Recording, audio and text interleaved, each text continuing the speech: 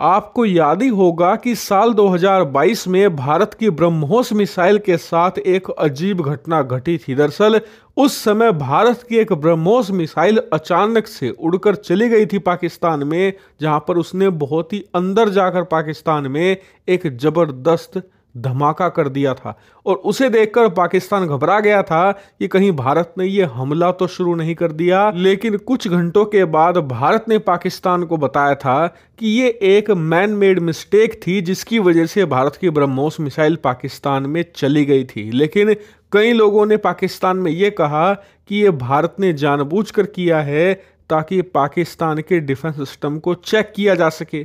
खैर, वो घटना आई गई, हो गई, लेकिन अब दो सालों के बाद एक और ऐसी घटना घट चुकी है। दरअसल, हाल ही में भारतीय वायुसेना पाकिस्तानी सीमा के पास पोखरण रेंज में एक बहुत बड़ा युद्धाभ्यास कर रही थी। उसी दौरान भारत के लड़ाकू विमानों में से एक लड़ाकू विमान का एयर स्टोर लड़ाकू विमान से अलग होकर ज़मीन पर जा गिरा और ज़बरदस्त धमाके के साथ फटा। और इसे देखकर एक बार फिर से पाकिस्तानियों की हालत पतली हो गई, क्योंकि जो उसके आसपास के इलाके थे वहाँ पर कई पाकिस्तानियों को लगा कि भारत ने कहीं फिर से हमला तो शुरू नहीं कर दिया। इसके अलावा पाकिस्तान के सोशल मीडिया पर भी कुछ ऐसी ही खबरें वायरल होने लगी। लेकिन कुछ ही घंटों के बाद भारतीय वायुसेना ने यह क्लेरिफाई किया कि ये जानबूझकर किया गया नहीं था, बल्कि एक एक्सीडेंट के ज़रिए ये हुआ और हमने इसके लिए कोर्ट ऑफ़ इंक्वायरी भी जारी कर दी है। यानी कि एक बात तय है कि अब इस घटना के बाद कई वायु सैनिकों की नौकरियाँ जाने वाली है। लेकिन ये इतनी बड़ी बात है क्यों?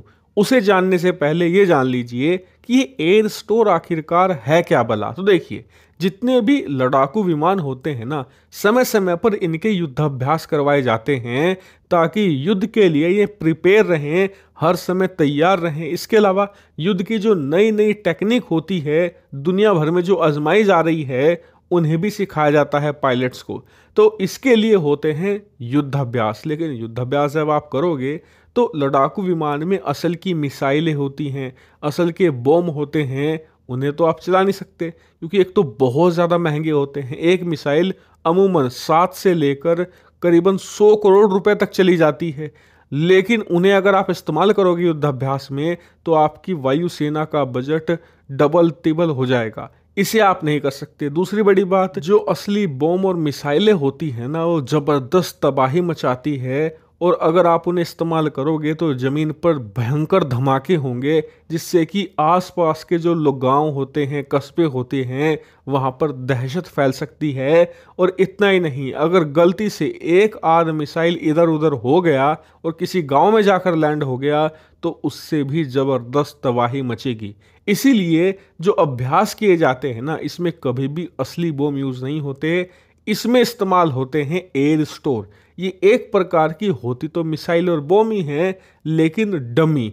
इनके अंदर विस्फोटक नहीं होता लिटरली हवाई होती है, और इसीलिए इन्हें एयर स्टोर कहा जाता है। और ज़मीन पर गिरने के बाद एक छोटा सा धमाका होता है, वो भी ज़मीन से टकराने के कारण, जिसकी वजह से कुछ खास नुकसान नहीं होता। स्क्रीन पर आप देखिए, गिरने के बाद कुछ ऐसा होता है एयर पॉकेट का, और ये उसी घटना का यहाँ पर फुटेज है।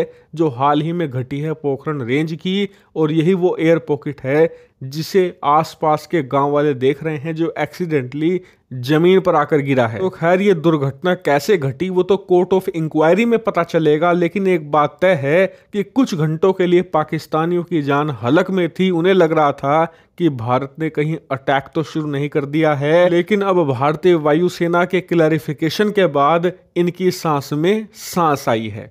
हालाँकि इस पूरे इंसिडेंट पर आपका क्या मानना है? कमेंट करके ज़रूर बताइएगा।